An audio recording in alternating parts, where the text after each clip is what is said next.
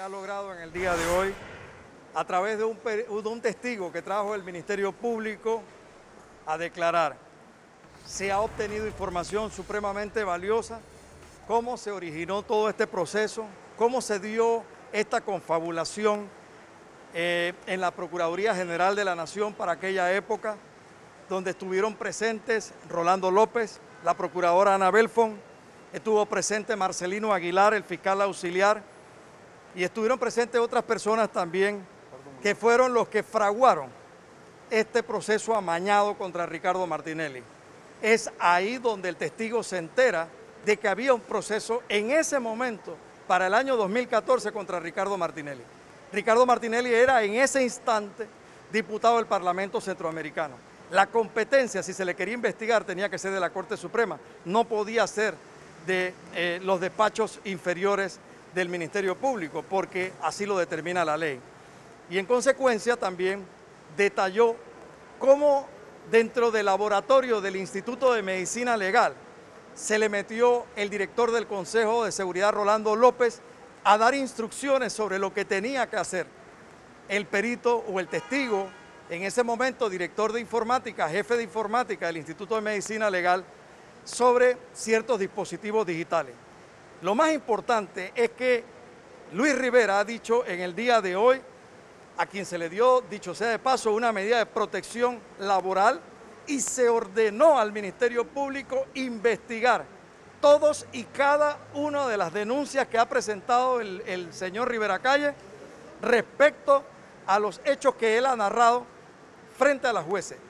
Y nosotros estamos muy satisfechos porque esto demuestra contundentemente lo que hemos venido repitiendo una, una y otra vez. Esto fue algo fraguado desde el Consejo de Seguridad, en donde estaba a cargo Rolando López, quien era el lugarteniente de Juan Carlos Varela Rodríguez. ¿Por qué la Fiscalía no presentó pruebas de evidencia de materiales digitales? La, la, Fiscalía, como ustedes han escuchado, no presentó, que se lo preguntamos al, al testigo, ningún tipo de evidencia digital. ¿Y sabe por qué no lo hicieron? Porque de haberlo hecho, les hubiera ido peor de lo que les fue en el día de hoy. Eh, la Fiscalía ya está con esta prueba derrotada. Y si no lo quieren aceptar, es su, su, voluntad. Pero lo importante es que hoy demostramos ya con el, el testigo más importante del Ministerio Público de que están derrotados. Y están derrotados porque todo ha sido una gran mentira. Todo lo que han hecho durante estos años, en el periodo de Juan Carlos Varela y hasta el presente, ha sido un mamotreto armado en contra de Ricardo Martínez. El procurador encargado entonces tiene que investigar las denuncias hechas por el perito Nosotros instamos al procurador de la Nación, en efecto, a que retire la acusación. No hay manera de que él pueda ganar un caso que nació torcido, siguió torcido y está torcido actualmente. Él es la única persona que le puede decir a sus fiscales, y para eso le es muy fácil, que pida el interrogatorio que se ha hecho hoy al testigo institucional Luis Rivera. Y ahí se dará cuenta de que todo esto está amañado, declarado por el propio testigo institucional del Ministerio Público. Abogado, el testigo también habló de que no hizo pericia alguna en este caso. No hubo pericia porque él explicó que no le pidieron realizar ninguna prueba pericial. No hay un informe conclusivo. Es más, a pregunta del, de la defensa, él dice que él no se hace responsable de ninguna de la evidencia, de nada de lo que se manejó antes de que llegara a su laboratorio o a su despacho.